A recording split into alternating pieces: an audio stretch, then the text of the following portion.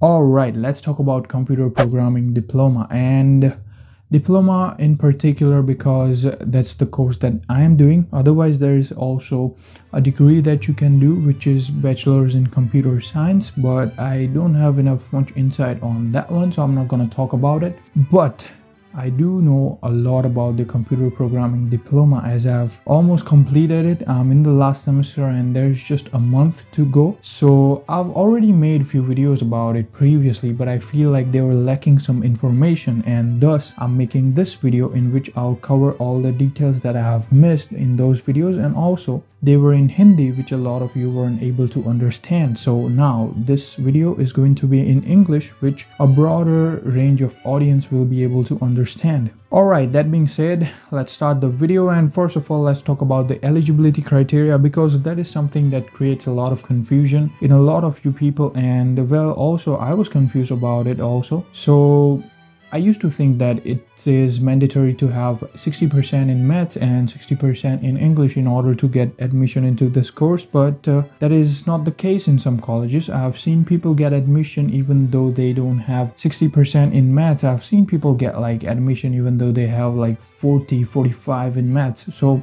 it depends on the college, I would say, but if you want to know like what is exactly the eligibility criteria for the college that you are applying then i would just suggest you that you do a simple google search and look into the eligibility criteria of your college because every college has a course page in which they describe everything about the course. So i think you should uh, google it and search about it. That will be the best when it comes to knowing the eligibility criteria for your college in computer programming Alright, that was it for the eligibility criteria. Let's now talk about the technical requirements for your course and well even though I have talked about it in my previous videos but I have missed few key details that you need to know and well for me also I came to know those details when I came in my semester 4 so let's start off with the basics. So most colleges recommend you that you have a laptop with a processor with the power of i5 like Intel i5 or equivalent and also you have minimum 8 gigabytes of RAM or 16 if you can. And then after that they require you to have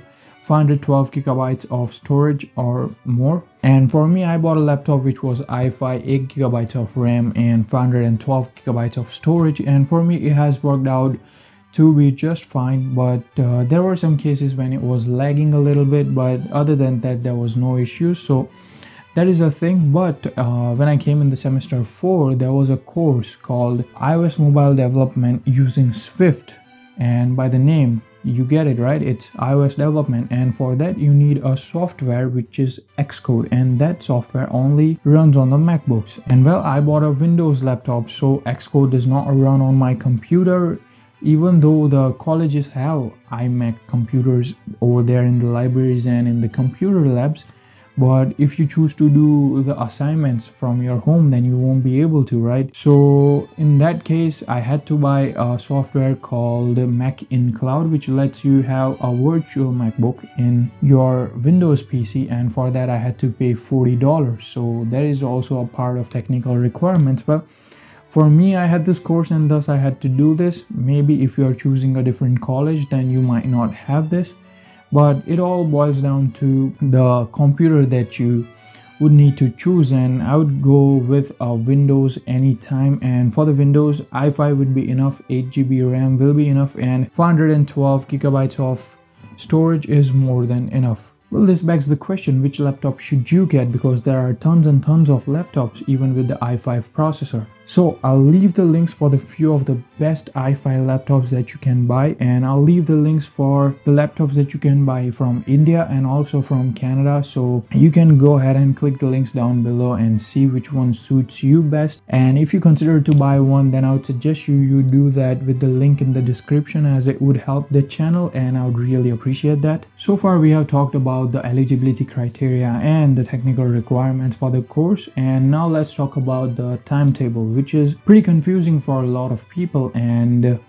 I'll make a specific video on which kind of timetable that you should choose for maximum productivity because you have to do a job and you have to study. So i'll make a specific video in which i'll talk about the best timetable that you can opt for and that will make your life so much easier. But for now let's talk about how it is. So there are a few timetables that you can choose from and depending upon the timetable that you choose you might have to go to the college three days a week or four days a week or even in some cases five days a week right? So there are few timetables generally three to four that you can choose from uh, when the registration starts. And i'll suggest that if you are going to register then be there on time uh, like open the website and just be ready because there are lots and lots of people waiting for the registration to open and then they just choose the best timetable that they feel like even though like uh, i don't think that matters most because after you have selected the timetable there is a time period which is called add and drop in which you can choose specific courses for a specific time period to meet your personal needs. So i'll talk about how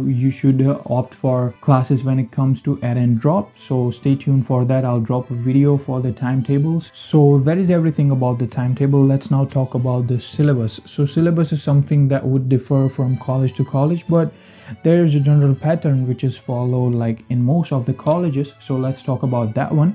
So the grading criteria is broken down into few key things and that includes the assignments labs projects and exams so in some cases there might be um, marking criteria where there is assignments for 50% and then there are two exams of 25 25 but there are some different uh, professors who choose different marking criteria like some would choose like 20% for your labs 30 for assignments 20 for a project and 30 for exam so this is all it like it would just be a mix of labs assignments and exams. That's everything about the syllabus. Let's now talk about the programming languages that are taught in this course. And again depending upon the college the programming languages that are taught might be different but for me let's talk about the languages that i got to learn in my college. And starting off it was html css javascript java then c sharp and also some few other languages like the mainframe programming language or the Arduino programming language. So the main languages are HTML, CSS, JavaScript and Java and then also there is C Sharp. But apart from that there are some few other supplementary programming languages like Arduino or even a mainframe programming language. But if you want to know what programming languages are exactly taught in your course then I would suggest you that you do a simple Google search. In that you should type computer programming course outline and then uh, your college name. So let's say if your college is Seneca College, then you should type in computer programming course outline Seneca College. And when you click the link for that, you will see the whole breakdown of your course in which you will be able to see which programming languages are taught in which semester and also how many subjects are there in each semester. So you will get a clear idea of what is there in your course and what is there in each semester of the course. So outlines are very helpful and i would highly recommend that you guys look for your course outline and read it understand it how everything works. So far we have covered a lot of things and if you are still here i would request you to leave a like down below for the video because it will help the video to reach maximum amount of people and it would help them also. So please leave a like down below and let's now talk about the difficulty level. So if there was a scale for rating the difficulty level of every diploma course in canada from 1 to 10 then i would rate computer programming at least 8 out of 10 trust me it's not easy. It's not easy compared to a lot of courses that you can do. And well if you are just coming here to get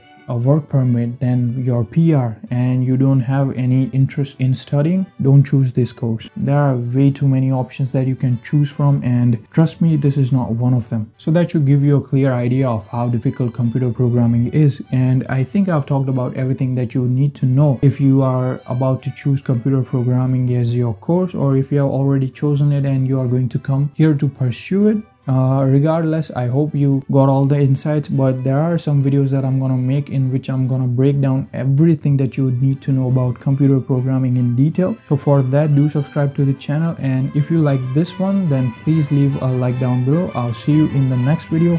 Bye bye